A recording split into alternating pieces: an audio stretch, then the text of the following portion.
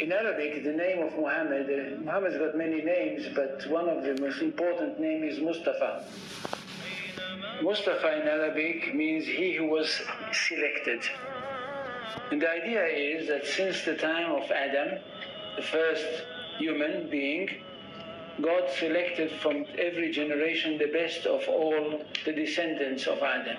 So there was a, some kind of natural selection, one generation after the other until at the end he selected the best of the best of the best of the best.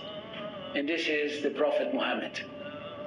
And he chose him to give him his word, the exact word of God, and of course selected him to be the Prophet that will bring to humanity the finest of all revelations.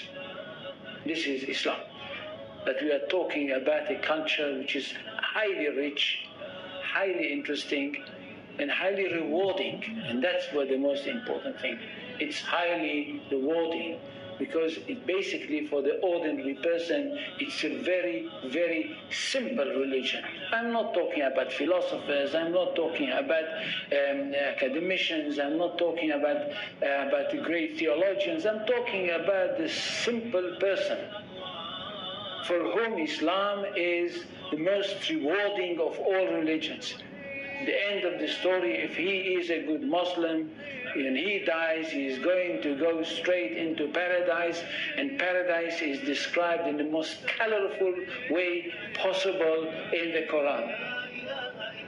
And um, this, uh, for this reason, I think we should speak about Islam with um, great respect and not just, you know, as I can hear some people say, well, it's Islam, it's not, you know, it's not.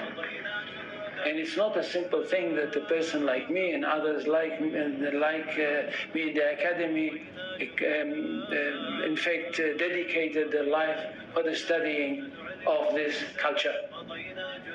Now, Islam is not a religion in the ordinary, simple way of thinking. Islam is a culture which comprises everything. And most of all, it is a culture based on revelation, and it is a culture which is based on a legal system. It is basically a legal system. It is a legal system which comprises everything. It comprises the life of the